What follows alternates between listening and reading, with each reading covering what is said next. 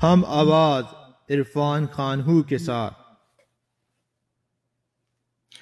अस्सलाम वालेकुम बिस्मिल्लाहिर्रहमान रहीम इरफान खानू एक दफ़ा फिर एक नए टॉपिक के साथ आपके सामने।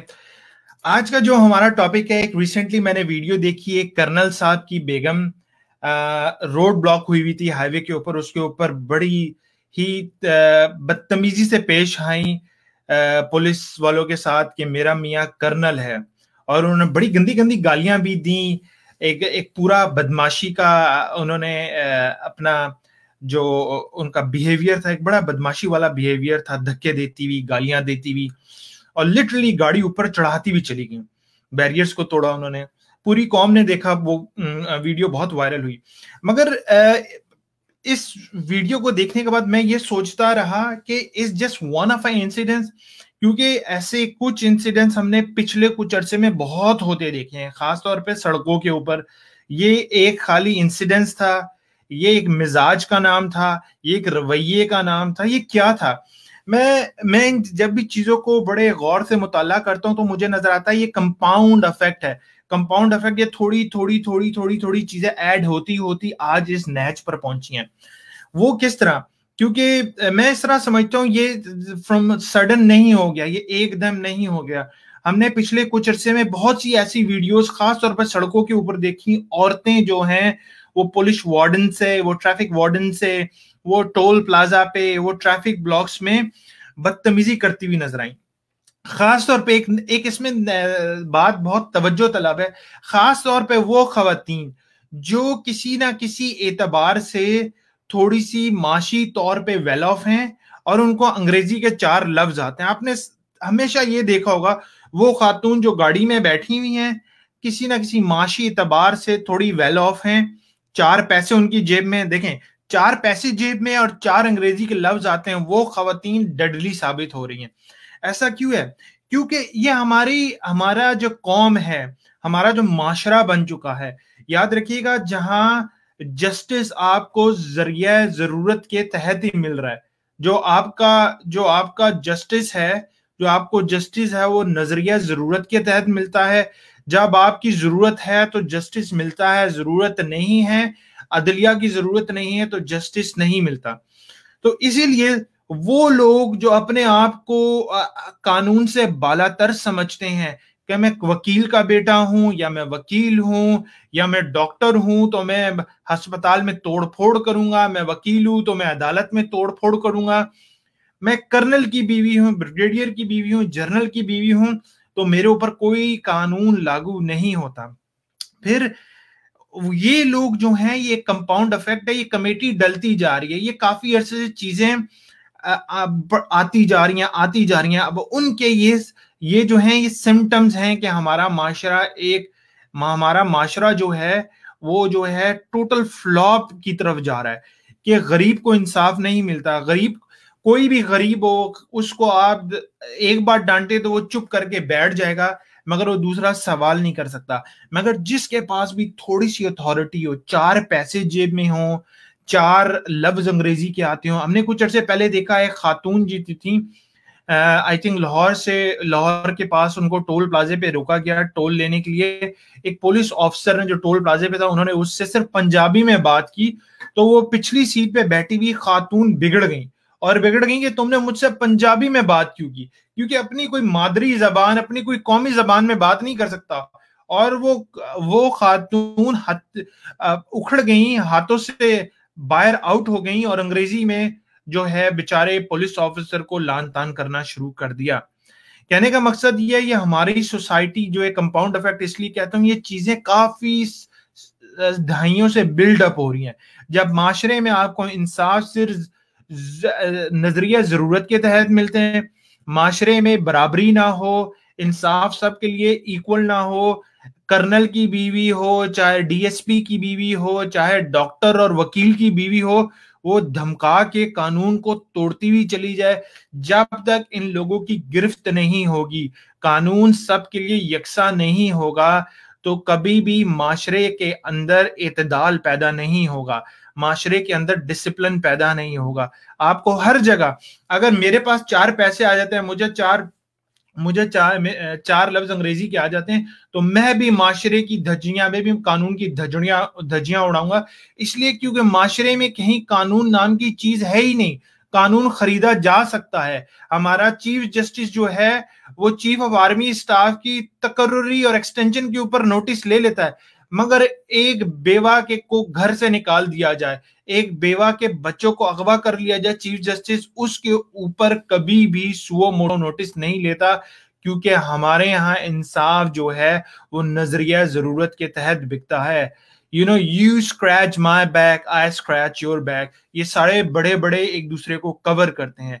ये जो इन खातून का रवैया था, ये मिजाज था, इसका लेन देन इंस्टीट्यूशन से नहीं है। हम किसी भी जुडिशरी को वकला को या मिलिट्री या आर्मी के इंस्टीट्यूशन को ब्लेम नहीं कर सकते।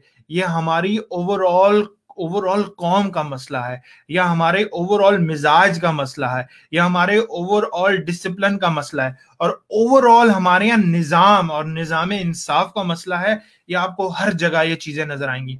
जब ये मामला हो गया तो एक न्यूज़ सुनने में आई के के चीफ ऑफ़ आर्मी स्टाफ ने कर्नल की बीवी और इस इंसिडेंट्स का नोटिस ले लिया। उस बेचारे कर्नल का क्या कसूर जो उस वक्त शायद आ, अपनी जॉब पे था और उसकी बीवी बदतमीजियाँ करती फिर रही थी रोड के ऊपर। अगर उसको हमारे चीफ ऑफ़ आर्मी स्टाफ ने एक महीने की सस्पेंशन दे दी उसकी तनख्वाह में कटौती कर दी एक महीने की तनख्वाह में तो उससे कुछ फ़र्क नहीं पड़, पड़ने लगा। जब तक हमारा कानून जो है वो हरकत में नहीं आएगा और जिस औरत ने औरत होने का जिस औरत ने औरत होने का एक दफ़ा फिर फ़ायदा उठाते हुए कानून तोड़ा जब तक कानून उसकी गर्दन जाके नहीं पकड़ेगा ये किसी आर्मी किसी आर्मी के ऑफिसर की तनख्वाह एक महीने की काट लेने से या उसको एक महीने के लिए सस्पेंड कर देने से इन औरतों का मिजाज दुरुस्त नहीं होगा। याद रखिएगा, जिस औरत ने बदतमीजी की है, उस ज़रूरी है कानून उस औरत को पकड़े, ना के ना के चीफ ऑफ़ आर्मी स्टाफ उसके हस्बैंड को जाके सजा दे दे। क्योंकि वो तो अपनी नौकरी पे था, क्योंकि हमारी कई हमारी कई शहीद बेवाएँ हैं, जो कर्नल, कोई जर्नल कोई ब्रिगेडियर की बेवाएँ हैं, उन, इन इन औरतों की वजह से वो शहीदों की बेवाएँ जो हैं, उनका नाम खराब होता है। हमारे इंस्टीट्यूशन का नाम खराब होता है, इनकी इज़्ज़त खराब होती है, और जो जो खूनी लिबरल जो हैं, उनको मौका मिलता है आर्मी के ऊपर उंगलियाँ उठाएँ जाके आर्मी को लान तान करें। तो ये मौका है कि हमारा जो जस्टिस सिस्टम है, सब चीज़ रिकॉर्डेड है, सब चीज़ कैमरे के ऊपर है, कि जस्टिस किया जाए। इन्होंने कानून की धज्जियाँ उड़ाई हैं, इनको कोर्ट के कटहरे में खड़ा किया जाए, इनसे सवाल किया जाए how dare you can break the rules like this how dare you can break the law like this in front of everyone गालियाँ देती हुई, धमकाती हुई, आप चली गई सबको कि मेरा शोहर ये है, मैं ये हूँ, मैं वो हूँ। इन लोगों को जब तक इबरत का निशान नहीं बनाया जाएगा, इस टाइप की चीज़ें होती चली जाएँगी। और खास तौर पे पाकिस्तानी माशरे में, जहाँ एक साइड पे तो खूनी लिबरल औरतों को बहुत ही मजलूम दिखाते हैं। मगर दूसरी साइड पे फिर क्या था? चलो, जिस औरत के पास जेब में चार पैसे हैं, जिस औरत के पास अंग्रेज़ी के चार लफ्ज आते हैं, वो हमारे यहाँ कानून की धज्जियाँ उड़ाते हुए चली जाती है। ये हमने बार बार वीडियो क्लिप्स में देखा ट्रैफ़िक खास तौर पे, क्योंकि अब हमारे सारे ट्रैफ़िक ऑफिसर्स के पास वीडियो कैमराज हैं, उनके बॉडी कैम पे भी लगा हुआ है, वो रिकॉर्ड हो रहे होते हैं कि ये आंटियाँ गाड़ी चलाने वाली चार लफ्ज अंग्रेज़ी के इनको आ गए, चार पैसे इनकी जेब में आ गए। ये किस तरह कानून की धज्जियाँ उड़ाती हैं? कानून आपका गरीब नहीं तोड़ा, कानून आपका बाहैसियत बाहैसियत पाकिस्तानी तोड़े जब तक बाहैसियत पाकिस्तानी कानून का एहतराम नहीं करेंगे, आप आम आवाम को, आप आम इंसान को, पाकिस्तानी आम इंसान जो दो वक्त की रोटी कमाने के काबिल नहीं है उसको कानून का पाबंद बनाने की कोशिश नहीं कर सकते। जब तक जब तक कानून बड़ी मगरमच्छों पे लागू नहीं होगा तब तक छोटों को आप भूल जाएँ क्योंकि इट्स ट्रिकल डाउन अगर हम लोग कानून को ऊपर वालों पे लागू करेंगे नज़रिया ज़रूरत के तहत कानून को खा, खाली लागू नहीं करेंगे इंसाफ मिलेगा सबको और मिलता हुआ नज़र आएगा तो तब बिलीव करें ये कर्नल की बीवी जर्नल की बीवी ये लॉयर की बीवी और ये लॉयर जो जाके अस्पतालों पे अटैक कर देते हैं और ये लॉयर जो कभी जाके कोर्ट हाउस सुप्रीम कोर्ट पे अटैक कर देते हैं, जब इंसाफ होता नज़र आएगा, फिर ये चीज़ें नहीं होंगी। आज से छह महीने पहले लॉयर्स ने अस्पताल पे जाके अटैक किया, एक सरसरी सी फुटेज चली, उनको हथकड़ियाँ लगा के कोर्ट में लेके जा रहे हैं, फिर क्या हुआ? Within within month सबकी रिहाई हो गई केस खत्म हो गए, सब सब जो, के सब जो हैं जमानत पे रिहा हुए, कानून ने इंसाफ नहीं किया। तो ये चीज़ें होती रहेंगी। जब तक इन लोगों की गर्दनों में आप, इनकी गर्दनों से सरिया नहीं निकाला जाएगा, इनके पाओ में बेड़ियाँ डाल के, हाथों में जंजीरें डाल के, इनको कानून के सामने खड़ा नहीं किया जाएगा तो तब तक हमारे मुल्क का निज़ाम ठीक नहीं होगा। फिर मैं कहती हूँ कंपाउंड अफेक्ट है। ये एक औरत का रवैया या मिजाज नहीं था, ये वो कंपाउंड अफेक्ट है, ये वो कमेटी है जो हम कई दहाइयों से डालते जा रहे हैं। ये वो कमेटी है जो हम गरीब का एहतसाल कर रहे हैं, इंसाफ नहीं दे रहे हमने हमने जिसके को चार लफ्ज अंग्रेज़ी के आते हैं, जिसके पास गाड़ी है, उसको हम सल्यूट कर देते हैं। जिसके जो जो कर्नल या जर्नल की बीवी है, या या किसी वकील की बीवी है, वकील साहब है डॉक्टर साहब हैं, उनको हम उनको हम लॉ से अबव समझते हैं। कोई सियासतदान है या जज साहब है या सहाफी, आजकल के हामिद मीर जैसे जो गुंडे मुस्टंडे बने हुए इनको हम इनको हम जो है, कानून से बालातर समझते हैं। जब तक इस टाइप के सहाफी इस टाइप के इस टाइप के वकील इस टाइप के डॉक्टर इस टाइप के पॉलिटिशियन इस टाइप के खातन खातन खासतौर पर कहता हूँ हमारे माशरे में जो है जिनके पास चार आ, पैसे और चार अंग्रेज़ी के लफ्ज आ गए हैं वो खातन का इस्तेसाल कर रही हैं।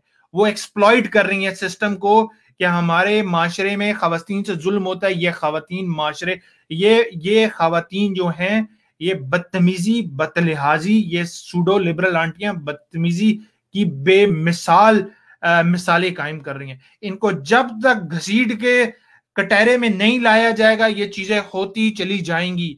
ये चीज़ें कभी कंट्रोल में नहीं आएँगी। और हम लोग हम लोग जो हैं, जब भी कुछ होता है तो हम लोग गरीबों को ब्लेम करना शुरू कर देते हैं। ये चीज़ें गरीबों के ऊपर कानून लागू करने से सही नहीं होंगी जब तक आप अपने बगड़ अपने बड़े मगरमच्छों को कंट्रोल नहीं करेंगे। जो चेंज आएगा start from the top and trickles down नीचे चलता हुआ, नीचे तक जाएगा। जब तक हम अपने बड़ों को दुरुस्त नहीं करेंगे, छोटे कभी दुरुस्त नहीं हो सकते, छोटों को हम कभी ब्लेम नहीं कर सकते। बस इतना ही कहना था कि ये लोग, क्योंकि ये चीज़ें हमने कंटिन्यूस देखी हैं। ये आंटियाँ ऑन द रोड जो हैं, आंटियाँ इन द कार ये ये जो है लॉ की धज्जियाँ उतारती चली जा रही हैं, उड़ाती चली जा रही हैं, और ये होता चला जाएगा। आप इससे भी वर्ष चीज़ें देखते रहेंगे, जब तक कानून is not for the all होगा। जब तक कानून सबके लिए एक जैसा नहीं होगा, नज़रिया ज़रूरत के तहत इंसाफ नहीं होगा तो ये चीज़ें आप देखते चले जाएँगे। हम ये एक्सक्यूज सुनते चले जाएँगे। इस टाइप का माशरे में बिगाड़ आता चला जाएगा। ज़रूरी है कि इंसाफ के सिस्टम को ठीक किया जाए।